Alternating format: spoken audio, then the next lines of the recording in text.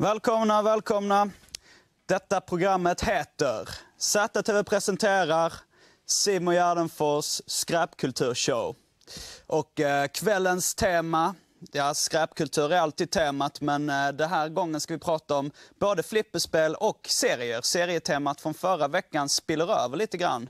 Eh, och vi har två serietecknare med oss i studion här. Jonna Björnstjärna och Marcus Nyblom. Välkomna. Tack. Tack. Ja, de satt redan här, men annars kunde de springa in sådär lite.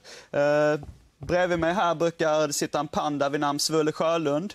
Eh, han kommer inte få plats idag för vi har så mycket gäster. Vi har eh, två andra också eh, på flippertemat som kommer in lite så småningom.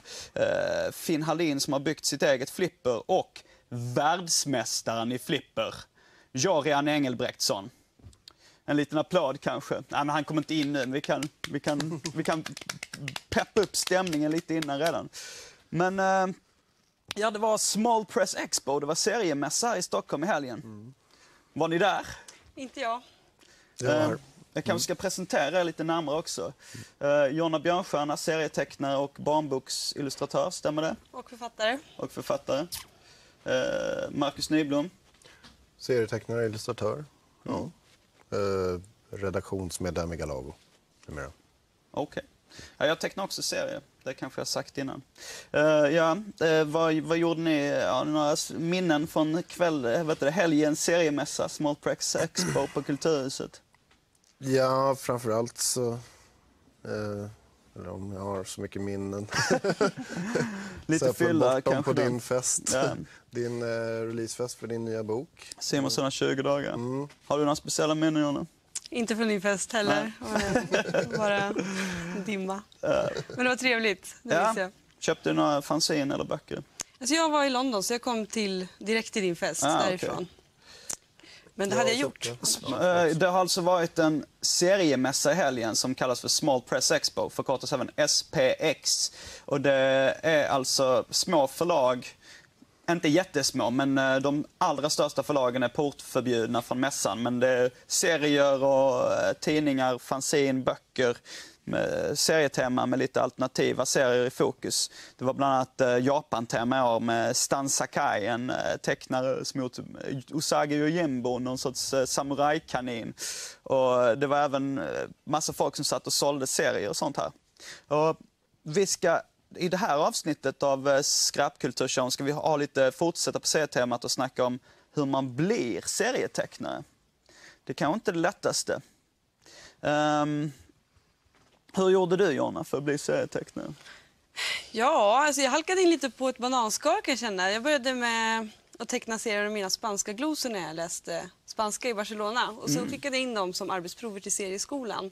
Okej. Ehm, för att jag ville både rita och skriva. Då tänkte jag att det skulle vara kul. Så, du har gått serieskolan då alltså? Mm, precis. Men du var ingen så fullkomlig serienörd från början? Då? Nej, jag blev det. Ja. När, jag var, när jag gick där. Du då Marcus, var du en serienörd från början? Nej, jag kan nog säga att jag inte var det. Det var jag den enda av oss tre som, jag var fullkomlig serienörd. Det var superhjältar och hela faderullan Lej. Ja. Jag, jag läste Tintin och sådär som ganska många gör. Mm. Och sen, men sen någonstans i tonåren så började jag läsa mm, så kallade vuxenserier, det vill säga eh, ja, Raw Magazine och, och eh, de här amerikanska underground-serierna. Ja, Underground-svängen. Är det någon av er, har ni gjort fanzine? Mm. Jag har faktiskt med mig två. Okej. Jag kan visa. Det var det första vi gjorde på skolan. Eh, Jag kan hålla upp. Mm. Eh, först eh, det här kanske. Japp. Tema olycklig kärlek. Jag åkte till Edinburgh efter Barcelona och jobbade där i tre månader på en restaurang. Och blev olyckligt kär i en bartender, eller en servitris, servitör var han. Och eh, ja, fick till det med en annan servitör på samma restaurang som var alldeles för gammal. Det var en ganska rolig historia. Och det här, Eh, nästan samma tema. ja, lite samma fast det var en servitör i Barcelona. Kan vi se om vi hittar någon... Oj, det ser ut som ett djur. Ja, det var en maskerad. som- Det är lite fantasi där. Det var Okej. ingen eh, maskerad som vi hamnade på. Men... Fanzine är alltså då, eh, betyder, står för fan magazine och det skulle kunna översätta i seriesammanhang är det amatörproducerad serietidning. Skulle man kunna säga. Har du gett ut fanzine, Marcus? Aldrig. Aldrig? Nej. Okej, men det är i alla fall ett sätt att börja som serietecknare. Vad sa jag? började också teckna i seriefanzin. Så då har vi sagt serieskola, seriefanzin. Och hur började du egentligen? då? ja, det sa du lite. Eh, Jag men- började genom att jag eh, inte trodde att jag kunde någonting annat än att rita. Så att, eh, och dessutom så gillar jag serier och jag ville hålla på och rita. Sen eh, lärde jag mig lite av en kompis och eh, kämpade ganska länge med mina serier. Och nu har du gett ut en bok. Ja, eh, den gav jag ut i september förra året. Eh, på- Rykande aktuell. Ja. Ska vi säga, det, det är lite det är så kallade stumma serier ganska mycket den här. Mm, det stämmer. Pantomimserier. Marcel Marceau är stora förebilden. Men, eh, och Jonna kan vi ska visa också Mm. en bok här. Jag hoppade vidare till barnboksmakandet istället. Gjorde, den där gjorde jag. Den började på andra året på serieskolan. När jag kände att eh, det var... Kände mer för att göra en barnbok än för att teckna ett seriealbum faktiskt. Så då, då blev det den där. Jag tror det är många som, även jag, som känner släktskap med barnböckerna. Att det har fastnat i Det minnet. är lite, lite samma grej förutom att man har rutor. Nu har ni båda slagit igenom med buller och bång och är med i en antologi på engelska, From the shadow of the northern light. Marcus har tecknat utsidan. Och vi ska fortsätta lite grann med serier efter pausen faktiskt. Eh, då kommer vi mer fokusera på flipper, men Marcus här ska visa lite hur man gör serier. Det kan vara bra att veta om man eh, ska, vill bli serietecknare. Och efter pausen kommer då världsmästaren i flipper in tillsammans med Finn Hallin. Eh, och vi kommer eh, köra vidare flippertemat. Här har vi ett leksaksflipper med i studion. Marcus kör igång lite, lite lätt.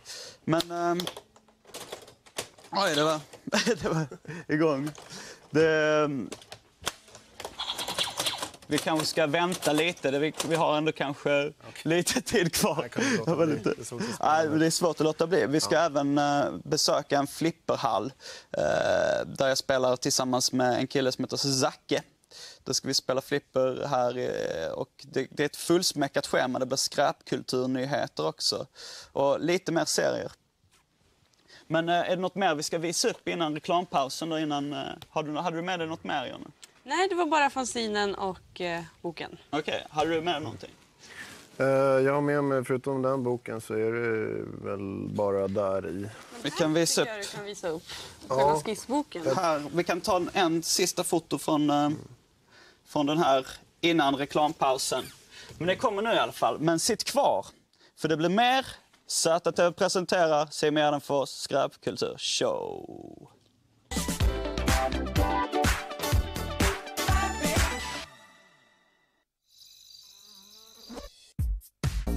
TV presenterar Simon Gärdenfors skräpkultur show och vi ska köra igång med eh, vidare här ikväll. Det fortsätter pyttelite serieskola och eh, sen blir det även eh, flippertema. Men eh, Marcus, du ska ha en liten eh, snabbkurs nu i hur man tecknar serier. Mm, stämmer. Eh, Har du någonting att... Ska jag hålla upp och visa lite? Ja, eh, vi kan börja med... Jag använder då lite... Eh, jag kan säga så här. Det första jag har är väl en skiss på eh, ungefär hur jag vill ha det. Bildmanus alltså? bildmanus.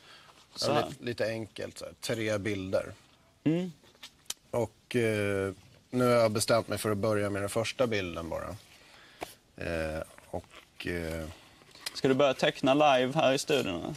Ja, jag ska visa lite. Jag har förberett lite grann. Men, eh, Det är lite som ett kockprogram, att Marcus har förberett i förväg för att vi ska spara lite tid. Så. Ja. Eh, Men, eh, Då har jag ett eh, block här som eh, det är Montana, heter de som gör de blocken.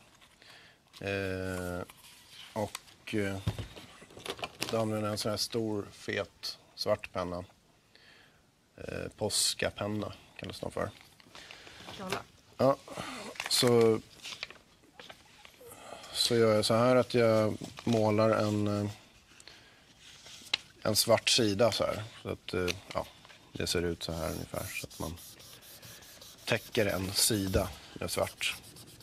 Ska man rita på svart papper direkt? Eller Det kan man göra, fast jag föredrar att eh, använda det här... eh, Slutresultatet ser ut så här ungefär. Du har, du har gjort den här tekniken när du gjort den här ja, serieutsidan. precis, där. det är samma.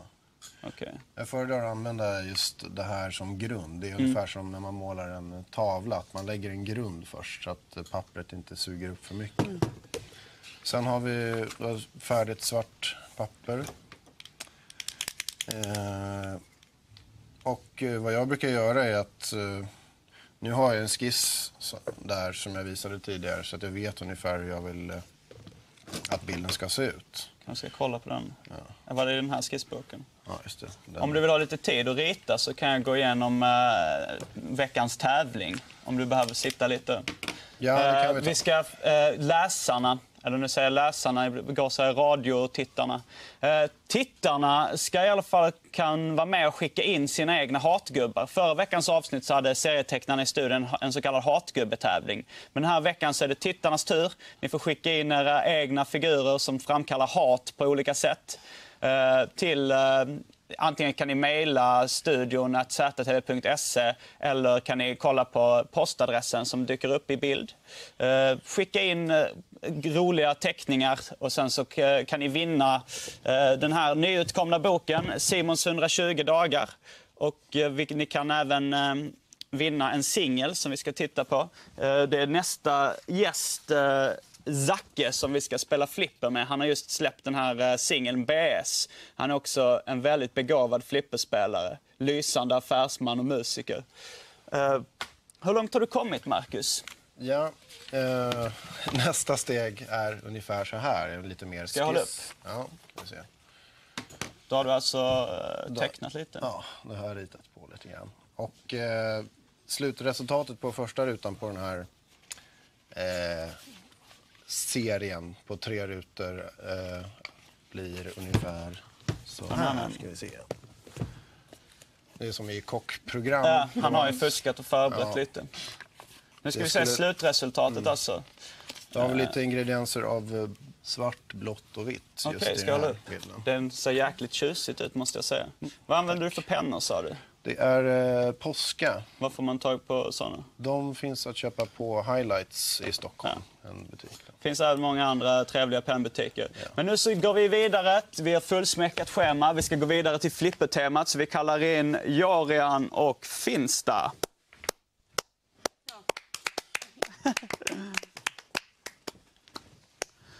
Goddagens.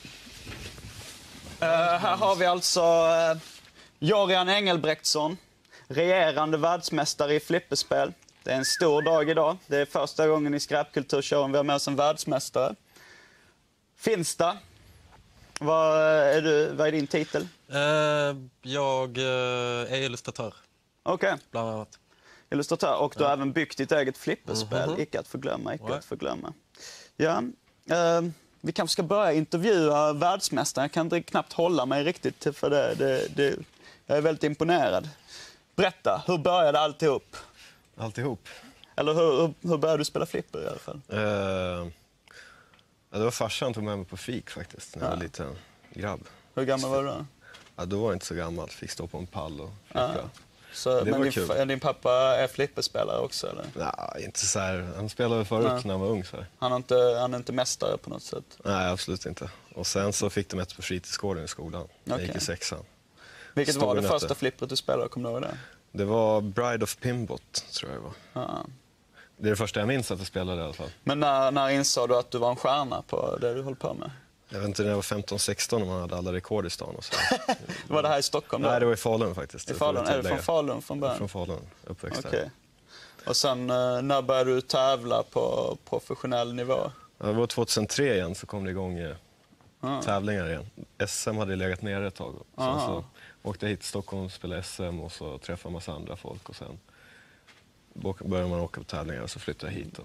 Ja, det börjar nästan kännas som någon sorts idrottsintervju här. Skulle du räkna, alltså jag, det är ju en kulturshow, men eh, vad, vad skulle du räkna det som en sport eller en kulturyttring? Eller? Nej, det är väl... eh, det är en svår fråga faktiskt. Nej, sport är det ju inte. Det kan jag inte säga. Ja, nej, men du vann ändå VM nu. Ja. Eh, när, var, hur? Eh, Det var i Pittsburgh i oktober Mm. i USA. Och hur gick det till? Ja, vad spelade ni? F1-spel eller vad det Eh, Först var det kval och då hade man tio olika spel att välja på. Och, eh, ja. då spelade man på vilket, fem utav dem. vilket, är ditt, eh, vilket är du bäst på? Vilket känner du dig säkrast på? Eh, Utav de som var med där så var det sen i finalspelet så kom det in ett som heter Doctor Who som det gick riktigt bra på. Så Mm. ett riktigt kul, skönt spel. Fan vad schysst. Finn, uh, Sta. Nu ska vi kolla lite på eh, ditt flipper som du har byggt eh, hemma hos dig själv. Mhm. Ehm, vi kanske ska prata lite mer om det sen och titta vad det, vad det är för någonting. Men eh, man kan inte riktigt spela på det i traditionell bemärkelse. Nej, eh, inte i realtid. Man Nej. får, man får leka med det. Typ. Okej. Det- Men vi, vi kollar i din lägenhet här. Wow! Ett hembyggt flipperspel. Så här, vad är det här? Lite motorsåg? Ja, det är Finsta-tema på den. Motorsågen är en av mina specialiteter där. En Ja, röd igen motorsåg. Kan vi prova att Så- rulla kulan? Ja, precis. Tanken är att eh, det ska komma någon grej här som heter typ chainsaw lock i Ah, smeten ah. och sådär. Så ska kulan fastna och då kommer jag animera en, en total eh, flipperavrättning. Sug. Något liknande. Fast som ger höga poäng såklart. Testa bara rulla lite. Och eh, här är lite kassettband och grejer som man ska kunna skjuta ner för att sen banga på ghettoblastern och få någon schysst, eh, få igång någon låt eller något liknande. Ja, det finns lite alla möjliga loopar och sånt där som ett flipper ska ha. Ramps and loops. Ja, Sjukt snyggt i alla fall. ja tack. Sjukt snyggt flipper. Uh, uh, av vilken anledning har du byggt uh, ditt eget flipperspel? Eh, ja, av många olika anledningar men eh, det började med att jag gjorde en skiss faktiskt. Jag tog med mig den. Jag har inte originalet här därför att jag, jag är även eh, en eh, graffitimålare och jag gjorde den här skissen i eh, Jag kan kanske hålla upp den. Ja, kan vara, vilken är det? Den- Är den här? den där. Gjorde en, en skiss i en kompis block eh, på ett, ett flipper-tema. Mm. Och eh, Finsta är en karaktär som, eh, ja, ett synonym jag går under när jag målar graffiti. Och det här flippret har Finsta-tema Okej. och allt som ingår. Men eh, sen byggde du ditt eget flipperspel? Ja, precis. Eh, sen fick jag eh, ett uppdrag som var i stort sett helt eh, öppet att göra nästan vad jag vill till ett eh, tuggummiföretag. Och eh, det skulle till sist bli en film på ett eller annat sätt. Och då kom jag på att det här är ett projekt som jag har velat göra ett tag. Och det passar bra Ja. inom, inom ramarna. Så att, Har du eh, byggt egna flipper också? Eller? Nej, det är dåligt med det. Ja. Men det är rätt svårt att, att, att liksom eh, laga flipper har jag förstått. De brukar vara rätt trasiga på hallarna i stan. Ja, det är komplicerat. Ja. Men ehm, du, har du varit sugen på att bygga ett riktigt flipper någon gång? Jag var lite inne på om man skulle bygga om ett gammalt kanske för att... eh, Ja, för att göra alltså, den här. ja, alltså man, ska inte, man ska verkligen inte underskatta komplexiteten i ett flipper. Jag har kollat lite dokumentärer nu i samband med, med att jag byggt det. Dokumentärer om hur de bygger flipper och sånt där. Det är typ några kilometer eh, så här, eh, eh, strömvajrar i varje flipper. Och de som utvecklade de står och spelar i typ så här genomsnitt 400 timmar per spel eller något liknande. Men du typ spelar inte så mycket flipper själv? Nej, jag har inte varit eh, inte tillräckligt bra på det. Hur mycket spelar du? Ja, fem timmar i veckan kanske det blir i snitt. Fem, Har du, har du några spel hemma? Jag har ett Attack from Mars hemma. Attack from Mars. Det är bästa mycket spelet, bra spel. Ja, det, mitt favoritnummer är Medieval Madness. Ja, det är Men, samma eh, designteam. Det är mm. som uppföljare nästan. Fast... Men har du någon träningslokal också du spelar i? Nej, inte direkt träningslokal, det kan vi inte säga. Men Men det finns något ställe det finns en inte- lokal vi brukar ha tävlingar i. Sådär. Så Hur många flipperspel finns det i den lokalen? Det finns väl 30 stycken man kan spela ungefär och sen så finns det ett lager med något hundratal spel som inte går att spela på. Så det finns eh, 30 fungerar, några hundra. Det måste vara en maskinpark. Det hade varit eh, jäkligt intressant att se. Alltså. Men ditt favoritflipper är där eh, Attack from Mars. Precis. Spelar du på det i finalen i USA? Nej, det var inte med. det Vad var det för spel du spelar på där då? Det var Doctor Who, Twilight Zone och Simpsons. Mm. Och vilket, eh, vilket av dem eh, gillar du bäst? Eller vilket är du bäst på? Jag gillar Dr Who bäst. Doctor Who. Mm. Men din, du gjorde även, du ska göra en animation av det här Ja. hemmabyggda flippret. Precis. Det ska vi kolla lite på efter pausen. Ja, Och eh, då kan vi tacka serietecknaren nu. Ni har fått sitta kvar lite under flippersnacket också, jag hoppas också det var intressant. Tack till Jonna Björnstjärna, Marcus Nyblom. Tack. Ehm, Efter pausen kommer, får ni ta ledigt, ni får ta paus, då ska vi snacka mer om eh, flipperspel. Vi ska annars besöka en flipperhall och se på lite animationer. Så stanna kvar, för det blir mer av min show här.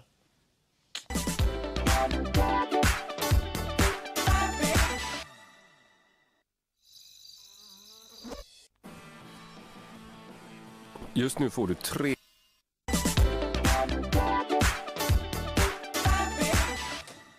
Välkomna tillbaks, välkomna tillbaks. Vi sitter här och spelar lite flipper med Jorian Engelbrektsson och eh, Finsta. Två flippergalna killar skulle man kunna kalla er. Eh, det, det här eh, veckans avsnitt fortsätter i flipperanda och vi ska kolla lite på animationer idag faktiskt. Flipperanimationer, en helt egen genre. Finsta, du har gjort en uh, liten flipperanimation. ja, Är det... det är egentligen två stycken olika som jag har gjort som vi ska kolla på tror jag. Mm. Den ena är dels det här eh, projektet som vi pratade om och spelet från min lägenhet. Mm. Och det andra är en, en föregångare i 2D istället som jag gjorde tillsammans med en kompis Leo. Okej. Så, ja. Så ja, vi ska... Vi, vi, jag tycker vi kollar på det nu, Ja. rakt av, direkt. Booyaka!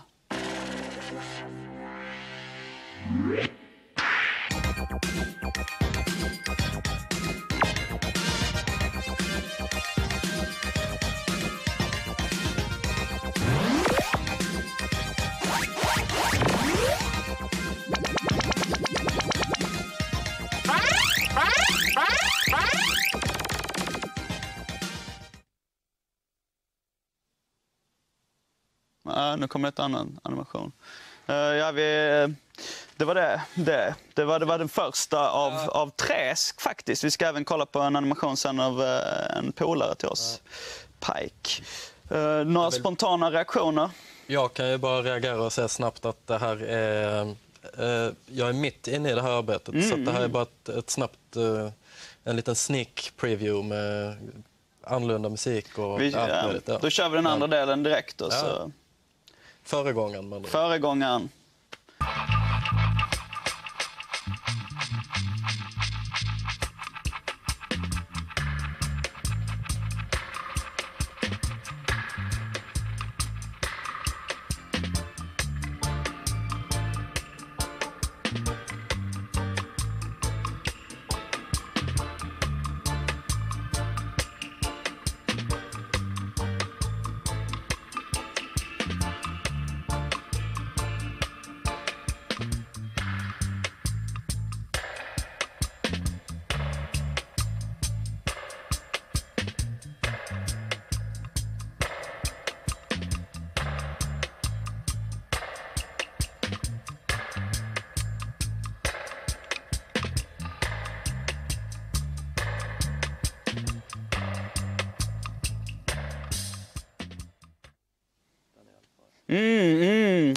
Väldigt fin.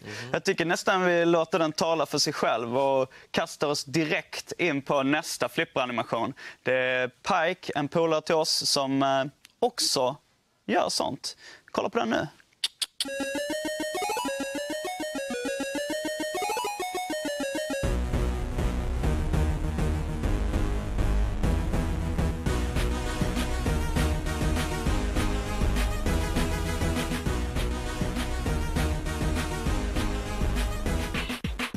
Det var den där. Naggande god, naggande god.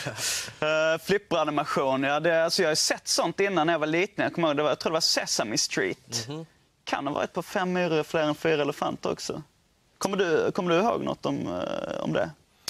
Det var nog Sesame Street. Ja, Ja, men sett det, det, precis. precis. Det finns en som heter Number Count. Number count. Ja, count, count Dracula. Alltså count som i räknar. Ja. Ja, det finns mycket. Ja, men eh, Ja, det är som alltid kul att kolla på tecknad film. Man anknyter lite till serietemat också. Men tillbaks till ursprungs kärnverksamheten. Eh, Att spela flipper på riktigt. Vi har faktiskt besökt en eh, liten flipperhall också. eh, I stan, jag och Zacke. Du, du spelar en del här i stan va? Ja, det. Mm. Uh, Var är dina favoritställen? Stan är alltså Stockholm för oss som inte bor här. Jag, är ju inte stockholmare direkt på direkten. Men också, ja. jag brukar spela på Söders hjärta. Sen Mm. finns det ju Hornsgatan där som du nämnde. KTH har, KTH, det har varit en massa Kungliga Game. Tekniska högskolan. Så precis, på kårhuset där. Sen finns det Lazy Game på Surbrunnsgatan. det finns mycket. Det finns uh, flera ställen. Men det börjar dö ut lite i landsbygden tycker jag. Alltså, det är inte så ofta man hittar mycket flipperspel när man Nej, det är dåligt nu och det börjar dö ut här också. Så det, Aha, det börjar dö ut i Stockholm också. ja. Vi- Vad, vilka, vad ska vi hitta för syndabock? Dataspelen. Lotteriinspektionen. tycker jag. Lotteri, ja det är det ja, lotteriinspiration. Bra syndabock där. Ja. Det är Kontroversiellt och allt. Men vi kollar på, en, eh, vi kollar på det här flipperinslaget med mig och Zacke då, så ska vi även komma tillbaka med lite tips och tricks. Men först så ska vi bjuda på lite smått och gott här, så spana in det. Ja, nu står vi här utanför Söderhallarna, ett tak där de har sju stycken flipperspel. Och med mig här har jag Zacke, en eh, rappare och även flipperspelare. Kan vara den grymmaste flipperspelaren jag känner.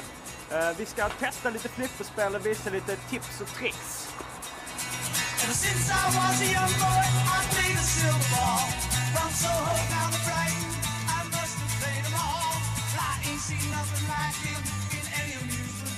Theater of Magic, det är trasigt och släkt. Mars Attacks, eller Attack from Mars. En klassiker. ja, den, den är skitkul. Eh, Terminator 3, knappt spelat. Lord of the Rings, det gillar du va? Det är schysst att vara nytt. Eh, Adams Family, det är faktiskt en klassiker. Eh, det var ett av de första med sån här avancerad display. Sen Indiana Jones. Ingen personlig favorit, men min kompis Isak vann faktiskt flipper på det spelet en gång för väldigt länge sedan. är Medieval Madness, ett av mina favoritspel. Och det Samma är- här, samma Ja. här. Det man brukar börja med är en skillshot när man skjuter iväg bollen. För det här håller man inne vänster flipper, kör iväg den. Jag ska pricka höger lane som jag missar. Bumpers där uppe, det som studsar på. Där, nu multiboll! Multiboll galenskap. Det är också ett bra tips att du kan kolla in hur känslig tilten är på ett flipper. Det kan du göra nu med nästan samla bonusen. För att, Varna lite innan. för att eh, det är en bra grej. Jävligt duktiga flipperspelare, de kan skaka precis så att du aldrig rör i tilten. Kan du göra det här när man tar ner den på, på Det kan flip? jag Vad kallades det? Drop catch. Drop catch. Där gjorde jag en liten. Liten drop catch. Ska det är jag testa en boll? Ska försöka sätta skillshot? Japp, skillshot. Fint. Ja. Boll locked. Korsas muren här. Nu är på gång. Mitt emellan. In i sneak multiboll-locket. Oj, nu. Ha, Multiboll direkt. Oftast bra, bra tips när det är multiboll är att sikta inte allt för mycket. Det gäller att hålla, hålla bollarna i rörelse. Du får iväg dem kanske i ramper och i lanes.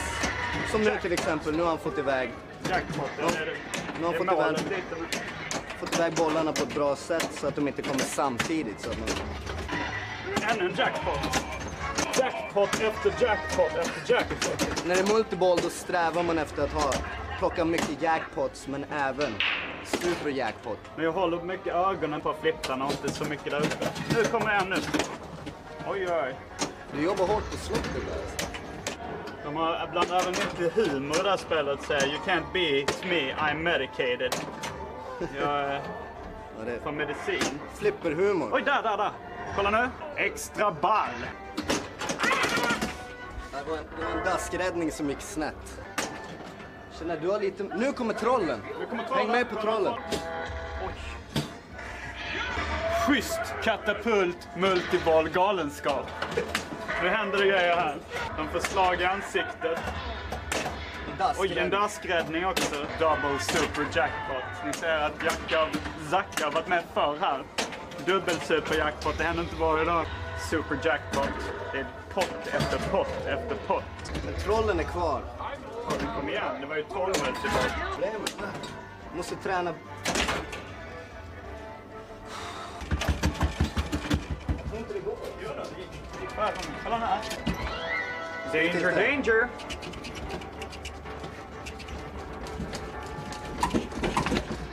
Tilt. Jag tror... Nej, nu blev det tilt. Det var lite synd, men det var inte vårt fel. Den tiggde om det. Den fastnade bollen. Sorgligt slut på en bra boll.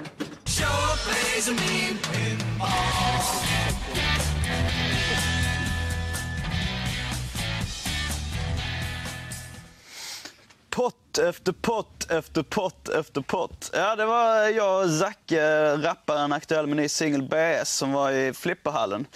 Vad tyckte du om vårt flipperspel? Vi kanske inte är världsmästare, men... Det var bra klippt alltså. bra klippt. Nej, men det var, ni visar alla de roliga grejerna där. Ja, det var en del internuttryck. Är det något du har att tillägga där? Liksom, vad man, några tricks, här som har några skojiga namn? Eller något? Ja, vad han sa där, drop catch, den är ganska enkel att träna på. Mm. Man släpper ner flippen och så kul han limmar sig på den. Och, och, Det ser ganska skickligt ut. Han misslyckades där en gång också, så jag Ja, han gjorde det. istället. Jag sa ju att uh, Zacke var den bästa jag kände som uh, spelar flipper. Fast jag känner faktiskt inte det. Det är första gången vi träffas idag. Ja. Men jag hoppas vi kan ta en, en och annan Vi kan ta en match runda. sen, Eller match. Ja, match. i afton. Ja, fan, det är en bra idé. Uh, Finn, något, någon spontan reaktion? Eh, nej, det var kul. Bara, ja, kul att se. Det, jag har faktiskt ett eh, nytt inslag också här i uh, skräpkulturshowen och det är veckans skräpkulturnyheter. Jag börjar med den här, plockar upp fusklappen. Första nyheten, kanske ska ha en liten bing. Pizza-VM avgjordes i helgen Ja, i okej. Italien. Den svenska tävlaren är Sasha Rajkovic, eller hur? Rajkovic, hur uttalas det? jag vet inte. Eh, eh, Helsingborgs Dagblad uppger att han blev bäst placerad av länderna utanför Italien. Hur många länder det finns utanför Italien, det är upp till er att avgöra. Sen har vi, det släppts ett nytt seriefanzin. En av de släppen släpptes nu under Smart Press Expo. Deliriumkatten. Hanna Petersson, Henrik Bromander, Björn Ahlén, Ludvig Trollare med flera, med flera. Nummer två var det. Och nu kommer vi direkt in på nummer tre. Det är Double Dip. Har bytt förpackning. Det klassiska godiset som ser ut så här innan har bytt. Det som inte fick hända hände. Jag vet inte, man ska väl försöka vara så objektiv som möjligt när det gäller nyhetsjournalistik, men jag kan faktiskt inte hålla mig. Jag tycker det är en riktigt upprörande nedköp alltså. Vad säger du? Ni som håller på, du tecknar också. Ja, det, det, det känns som att de eh, har, eh, De har sålt ut. ja, de har totalt sålt ut. Nyhet nummer tre. Veckans uh, risigaste komedi på tv, det är något jag också ska återkomma till här. Då har eh, jag valt ut eh, Min tjej 2. Visas uh, 06.30 på TV3 på söndag. Ops, det är inte Macaulay Culkin som är med i filmen, det är någon annan. Ja, just det. Det var riktigt, eh, en riktigt risig komedi där. Har, ni, har någon sett den? Nej. Jag har sett den för länge sedan. Bara ser framför mig hänga under något träd och tjejen har någon cykel. Och... Tjejen har en cykel? Det är i och för sig lite spännande. Jo, helt klart. Ja, Har du sagt vilket uh, ditt, ja, ditt favoritflipper är? Det har du sagt det. Det var Attack from Mars. Attack for Mars. Har du något favoritflipper? Nej, inte direkt. Eh, Vi snackade precis lite innan om att eh, de flesta experternas ofavoritflipper är Popeye. Men de har, det, det har å andra sidan eh, jävligt schysst grafik på själva den här eh, ljuslådan. Vilket var det första flipperspelet? Det är en sån grej jag funderat lite på. Alltså det började ju som såna här eh, som inte hade flipprar ens utan där man sköt iväg en kula och skulle liksom Ja, Gummibandsflipper. Ja, precis. Pricka hål och då kunde man tjäna pengar. Och så. Ja. så från början var det liksom en... Det var lite mer så här... Spela för pengar, Mm. tror jag. Nu för tiden köp, eh, så tjänar man inte så mycket pengar på flipperspel har jag förstått det som. Du har dock eh, du vann en prissumma i USA. Ja, 12 000 dollar var det. 12 000 dollar. Ja, det, Det räcker till en del flipperspel. Ja, två stycken. Jag menar mer lägg- Ja. lägger till regga i. Lägger i. Ja, då räcker det till 10 000 spel ungefär. Men, men du var, har vunnit ett flipper också, har jag fått för mig. Ja, jag vann flipperspel i Falun. Det var i och för sig, det är tio år sedan nu Ja. Vilket flipper var det? Roller Games från Roller Games. 1990. Rock rock'n'roller games. Jättefult var det. Så här tjejer, det- så här tjejer i rosa så här, trikåer och så här, rullskridskor, inte inlines utan rullskridskor. med Vilket årtionde sa du var för? Nej, det är från 1990. Men Aha, jag tror det serien är som en 80-talsserie. Så. Det lät lite så 80-talslåt. Men den här, Den har nog gått på tv som The. Who's, uh, Tommy the Pinball Wizard. Ja, just det. Den, den spelar de som uh, så här, bakgrundsmusik i ett av inslagen.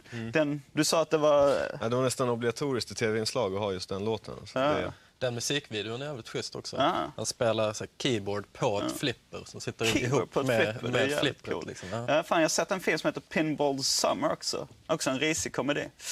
Eh, Nästa veckas avsnitt av Simon Gärdenfors skräpkulturshow, då ska vi fokusera på skämtartiklar. Eh, I gäst i studion kommer bland annat vara Frej Larsson från Slagsmålsklubben. Den enda personen jag har träffat som använder skämtartiklar i vuxen ålder. Jag gör det lite ibland också. Är det någonting eh, som ni ligger er varmt om hjärtat? Ja, ja, ganska mycket.